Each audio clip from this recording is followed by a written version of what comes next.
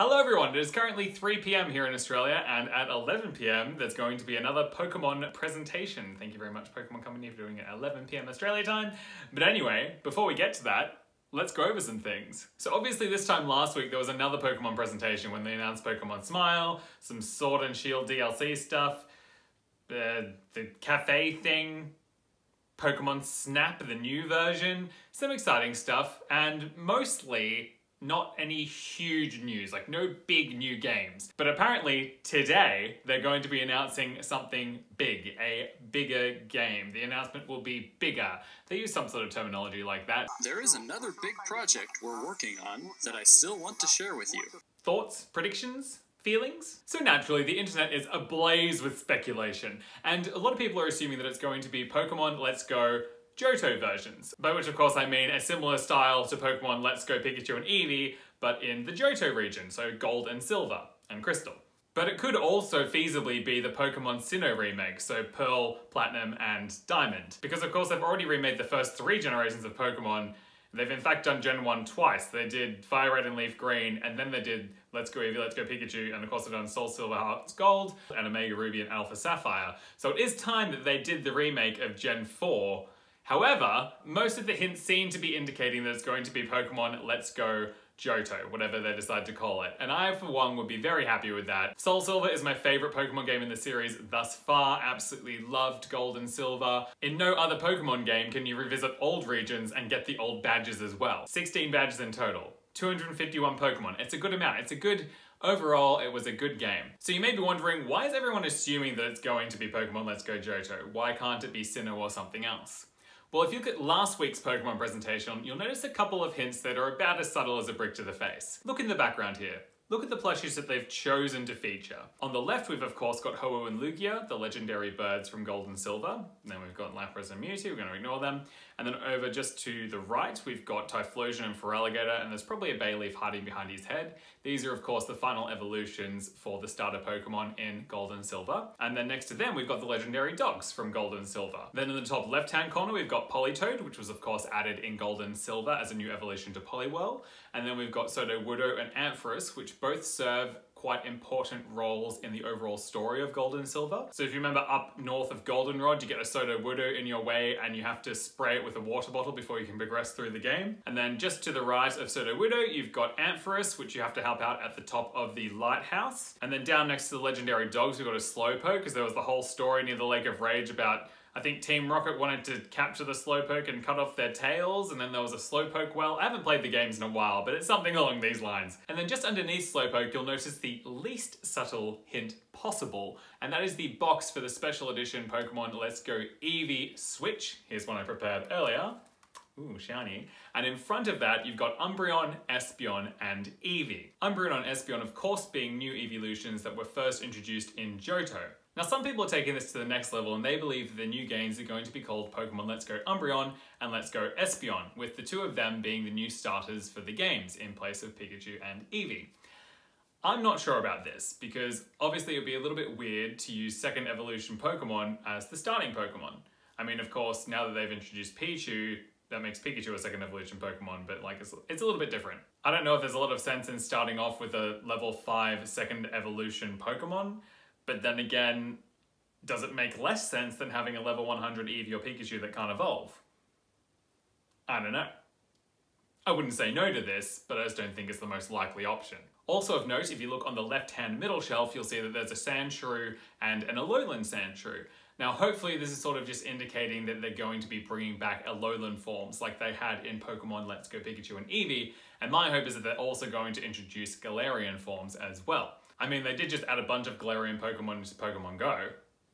Now looking back at Pokemon Let's Go Eevee and Let's Go Pikachu, these were of course based on Pokemon Yellow, or Pokemon Special Pikachu Edition. As most Pokemon fans will be aware, up until Pokemon Black and White, they used to come out with two versions for each series, followed by a third, slightly enhanced version sometime later. Gold and Silver had Crystal, Ruby and Sapphire had Emerald, Diamond and Pearl had Platinum. But anyway, one of the main differences in Yellow from Red and Blue was the fact that you started off with a Pikachu and your rival started out with an Eevee, which is the basis of Pokemon Let's Go Pikachu and Let's Go Eevee. But in Crystal, you started out with a choice of the normal Johto starters, Totodile, Chikorita, or Cyndaquil. There was no special starter in this version. So I guess it raises the question, if this is a new Pokemon Let's Go, Pokemon Let's Go who? The internet seems to be set on Marill, being one of the very first Gen 2 Pokemon to be announced, and I tend to agree here. Marill seems like a good option. From what I've seen, the most common guess after this seems to be Togepi. And I, I get it, it's one of the first Pokemon from Gen 2 announced as well. Misty hatched one in the original anime series and everyone was like, what the hell is that? That's a new Pokemon, that's not one of the 151. And of course, Misty spent the whole time carrying it around and if you use the Togepi as a buddy in Pokemon Go, you carry it like Misty carried it. But I just don't feel like it's going to be Togepi. I mean, I could be proved completely wrong in about 8 hours, but we'll see. I'm putting my money on Snubbull. I personally think that Snubbull would be a better fit. I think Snubbull and Marill just pair well together. The colors sort of complement each other. If you think about the game cases, what they look like, here are some designs. I feel like the pink and the blue, yeah, they look good together. Much better than blue and off-white for Togepi. I mean, it's entirely possible that I'm basing this whole hypothesis on the fact that they appeared together in Pikachu's Vacation back in 1998. Remember that? No? I do. After Ho-Oh and Togepi, they may have even been the first ones announced. I do wonder how Pokemon like Marill and Togepi would function as your buddies though, because, buddies, because in Let's Go Pikachu and Eevee, Eevee sat on the head and Pikachu sat on the shoulder, whereas a Pokemon like Marill or Togepi is essentially a ball with short, stubby limbs.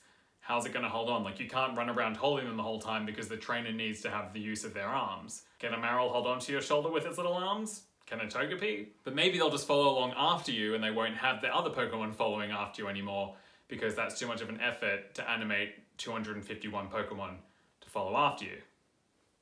I'll be interested to see what they do here. Another possibility for starter Pokemon that I really appreciated were these. Of course, there is still the possibility of Umbreon and Espeon, and they do logically make a good pair, but I just don't see it happening. Moving on to my hopes for the game, like my wildest wishes if it does turn out to be true. Assuming that they do make these games, and assuming that they stick to the original 251 Pokemon that you could find in Pokemon Silver and Gold, just as they stuck to the original 151 plus Meltan and Melmetal in Pokemon Let's Go Pikachu and Eevee, one thing that I would love for them to do is to introduce the pre-evolutions and evolutions for Kanto and Johto Pokemon that didn't appear until later on in the series, in further generations. Although I do understand sticking to the original 151 Pokemon in Let's Go Eevee and Pikachu, and it was kind of good not having to collect 800 plus Pokemon. What felt weird to me was not having the option to evolve Onix into Steelix or Poliwhirl into Politoed or Slowpoke into Slowking, Gloom into Bellossom. Obviously they didn't exist in the original Red, Blue, Green, Yellow games. But knowing that they're an option, knowing that they are a possibility of evolution now, it felt weird not having the option. Like they're there, but they're just out of reach. So in a potential Let's Go Johto, I'm not saying include all 800 plus Pokemon, but I'd love the ability to evolve Piloswine into Mamoswine or Murkrow into Honchkrow, as well as pre-evolutions like Bonsly and Mime Jr. Like, you shouldn't be able to just find them in the wild, but if you had a Sudowoodo and you bred it, you, you could get a Bonsly. that would be great. And even possibly Mr. Rime, if they choose to add Galarian versions into this game like they did Alolan versions into Let's Go Pikachu and Eevee, then you could get those evolutions as well. But this is sort of a wild wish because while I was thinking about this, I realized just how many pre-evolutions and evolutions they have added since Gold and Silver, so it would be a lot of Pokemon to animate, particularly if they choose to have them follow you around like they did in Let's Go Eevee and Pikachu. Jumping back to the screenshot real quick, you'll probably notice there's also a couple of Detective Pikachus hanging around. So it wouldn't be surprising if they also announce something about the next Detective Pikachu game, some footage from that and stuff. I'm less excited about this. I haven't played the first Detective Pikachu, but I am in the Detective Pikachu movie.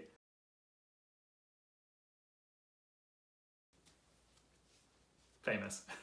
the presentation is meant to go for 11 minutes, so it wouldn't surprise me if there was more than just one game announced. So those are my predictions and hopes for this Pokemon presentation. Let me know what you think down in the comments below. I mean, they could just surprise all of us and just announce a new Pokemon Colosseum or something, but we'll see. If you like this video, please don't forget to give me a thumbs up. It helps out my algorithm. Let me know what you think down in the comments below. Click on that face to subscribe to my channel. Click on a video here to watch another video, probably my reaction to tonight's presentation once I film that and I'll see you next time.